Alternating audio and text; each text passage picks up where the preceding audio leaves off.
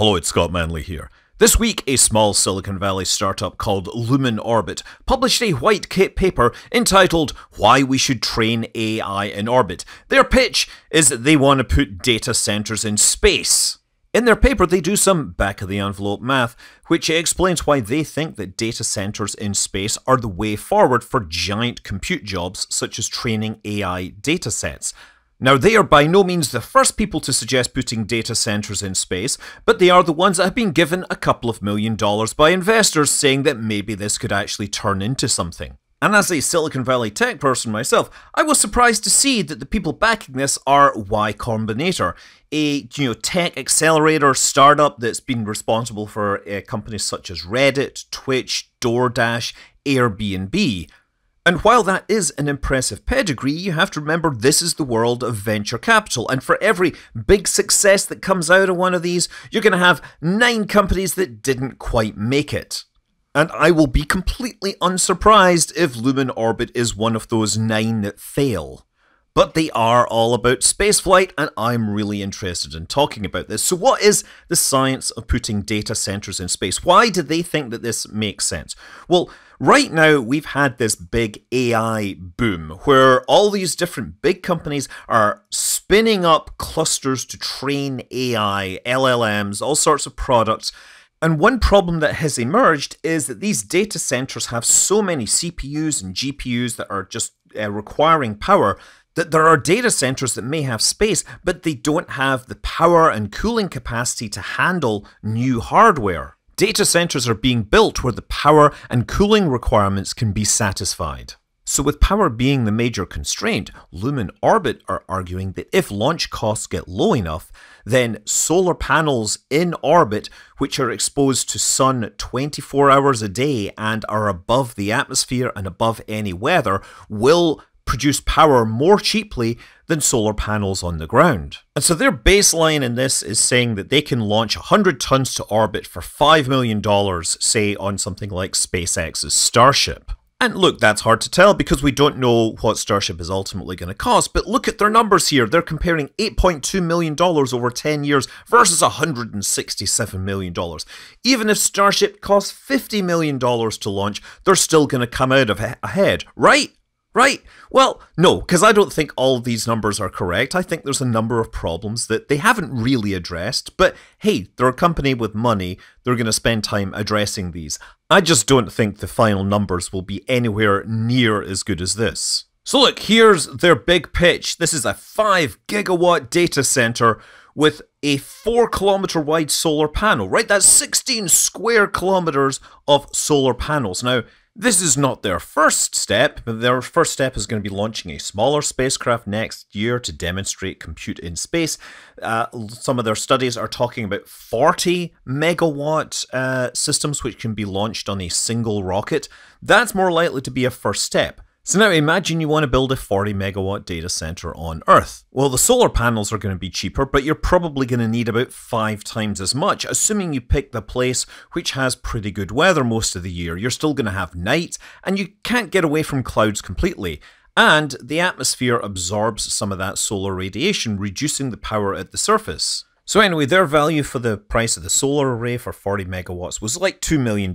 So yeah, terrestrial version would be 10, but hey, you gotta make that work overnight, so you need battery storage. You'll need 40 megawatts for 12 hours. That's 480 megawatt hours. If you're charging maybe $100 per kilowatt hour, which is way below what, you know, it would normally cost, that's, you know, $50 million. Now, of course, on Earth you have other power sources available, but their math says, well, that's about 4 cents per kilowatt hour. That works out to $140 million over 10 years. Now, the thing is, even in low Earth orbit, you're still going to have day and night cycles. You'll just get them every 90 minutes.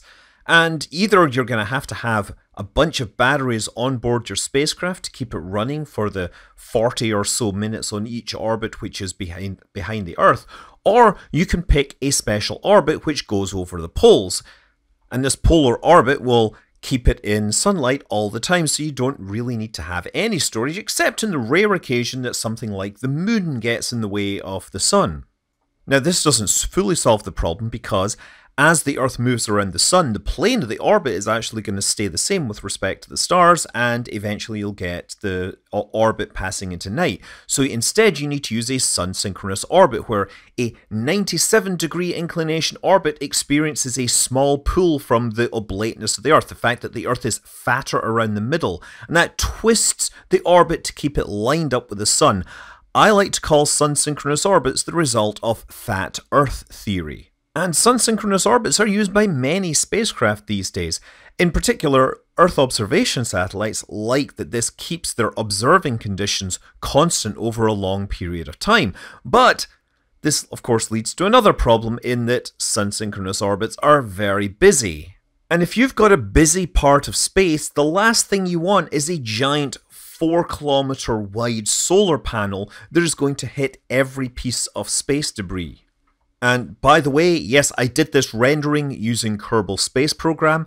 I used tweak scale to scale up those uh, solar panels as big as I could, but they still looked very small.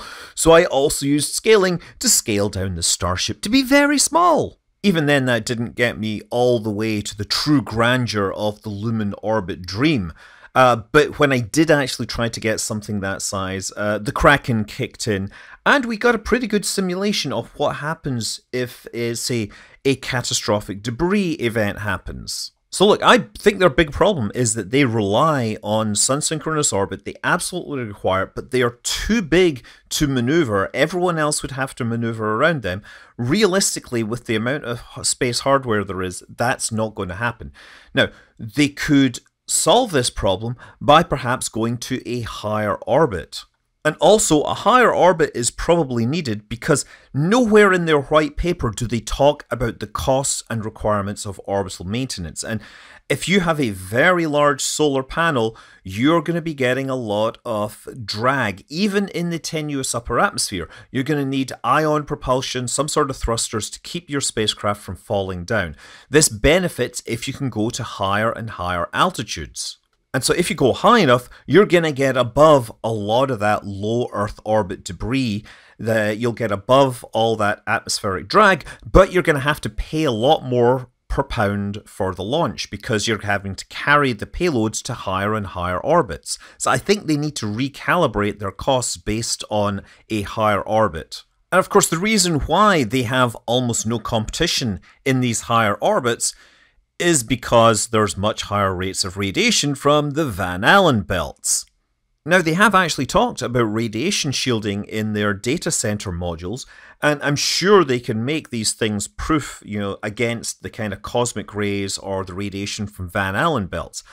But they can't do that for the solar panels. The solar panels are going to be out there and they're going to be getting hit and they're going to suffer higher rates of degradation because they are exposed to this higher radiation flux. They just they need to be higher, they need to handle that higher radiation. But the most important kind of radiation when you're putting data centers in space is thermal radiation, black body radiation, because you are going to have to keep everything cool, and the only way to get rid of heat in space is through radiators that radiate thermal radiation, right? And if you mention the idea of data centers in space to the average, you know, space nerd, they're going to say right away, how are you going to cool this thing? We have big problems cooling like astronauts in spacesuits. While the average person on the street knows that space can be very, very cold, it's not very good at cooling things because it's a vacuum. That's why vacuum flasks are used to keep things cold or warm. But the truth is, it's not an intractable problem. I mean, this International Space Station keeps itself cool using radiators. And these are actually all over the station in various uh, locations, but the way they work is you have a cooling loop, you have uh, like a cooling liquid which is piped, uh, pumped through little pipes in the surface, heating these panels up, and they will passively reject that heat into space, and then colder fluid comes back, and that's how your cooling loop works. Now, the rate of cooling via radiation goes as the fourth power of, of the temperature of those radiators. It's very temperature dependent. In the Lumen white paper, they specifically say that a one square meter panel at 20 Celsius will emit 850 uh, watts of power. And their quick estimate says that they would only need one third the area of radiators compared to their solar panels. But I will point out the video that they show does not include any radiators on display. Ideally, you want the radiators to sit in the shadow behind the solar panels. You want them oriented at 90 degrees to the sun or any other illumination. And guess what? The Earth is actually a source of illumination. It is emitting infrared, it is reflecting sunlight, and so your thermal management doesn't just have to account for the sun, but also the thermal power from the Earth. But look, forgetting that the Earth exists is really nothing compared to the fact that they have more or less just said, oh, you know, cooling isn't going to be a big deal. And I'm going to say, no, it is absolutely going to be the biggest of big deals consider that if you have a 40 megawatt uh, electrical system that has to dissipate that heat, and say you're pumping ammonia around, and you have maybe a 50 degrees Celsius difference between your hot and your cold loop, you're needing to pump 160 kilograms of ammonia through your system every second. Pumping that amount of stuff around is going to have a significant electrical cost that you need to factor into, you know, how much rack space can actually be involved in compute versus supporting the cooling system. There will likely be a need for refrigeration loops, and that will take extra power too. Radiators will tend to be heavier than solar panels because you have to actually have a uh, cooling fluid pumped through them. The radiators have to be situated closer to the uh, data center, again, because you have to move the heat around through fluid, whereas it's much easier to move electricity along around through wires. So I think all those things together are going to work to make that 40 megawatt cent, uh, cluster a whole lot lower power. First of all, they won't be able to launch as much mass because they're going to a higher orbit. Secondly, more of their mass is going to be involved in cooling than they expect. Finally, a bunch of the power they generate is going to have to go into running that cooling system. And finally, since they're in a higher orbit, getting higher radiation, and their panels are degrading faster, they may not get 10 years worth of life. They might have to reduce that down. Do they have enough margins to still make this viable? That's a good question. And there's another thing that kind of works against them, and that is the scope of this giant data center, this four kilometer, you know, size thing. Why are they making something this big when, you know, they can launch 40 megawatts in a single launch? Well, this is big data. And big data really works best when you can put all the data in one place, right? You want the nodes to be able to communicate between each other very rapidly and very efficiently. Otherwise, they spend a lot of time idling, waiting for data to come across the network. So they really need to pull all this together into one giant satellite Death Star, data Death Star. What a cool thing uh, to actually make it viable. And that's not to say this can't happen. I'm just saying that they need to think about scale if they are going to be like if they're going to beat the data centers on the earth. One thing I do like that they mentioned is the fact that they might be able to move your petabytes of data up on a dedicated physical shuttle rather than sending it, you know, via transmissions. Load all your data onto a spacecraft and send it up there. It's sort of a space version of a bus, a data bus. And I should also say that you know, all this idea of training AI in space, this is largely predicated on current technology, current AI technology. Uh, and maybe something changes. Maybe you know we get some more insight. Maybe we develop new lower power ways of training things.